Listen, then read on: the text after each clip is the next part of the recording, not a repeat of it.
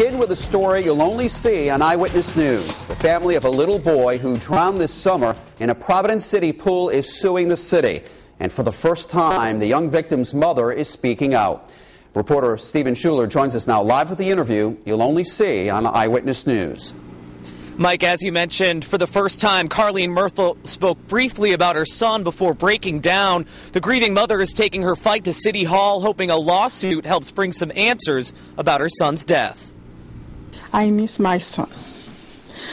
You know, it's very hard.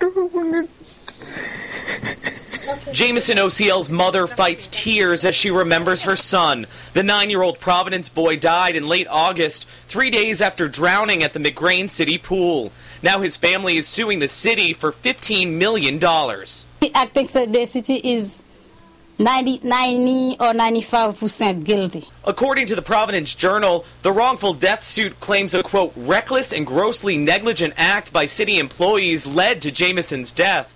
Jamison, his little brother, and cousin were left at the pool after lifeguards told his uncle he couldn't enter without a bathing suit.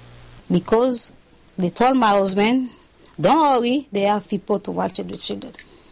That's why he left the children. Gamael Bazile, Jamison's eight-year-old cousin, also nearly drowned when poolgoers found the pair floating face down in four feet of water.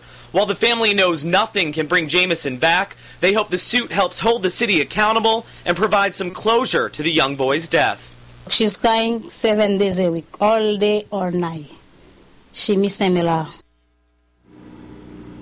The city has 40 days to respond to the family's claim. Uh, and as, as far as that goes, uh, we did try to reach out to the mayor's office tonight, but we were told the city can't comment on pending litigation.